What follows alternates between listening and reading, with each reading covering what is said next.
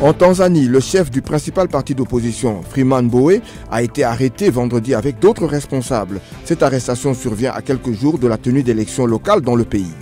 Au Soudan du Sud, les autorités enquêtent sur une fusillade jeudi soir à la résidence de l'ancien chef des services de renseignement à Kolkor, limogé il y a près de deux mois sur fond de rumeurs l'accusant d'ourdir un coup d'État. Le président du Soudan du Sud, Salva Kiir, a tenu ce vendredi une réunion d'urgence avec de hauts responsables sécuritaires. Les pays de l'Alliance des États du Sahel, AES, le Mali, le Burkina et le Niger ont signé jeudi à Niamey un protocole d'accord sur la fin des frais d'itinérance des communications téléphoniques appelées roaming.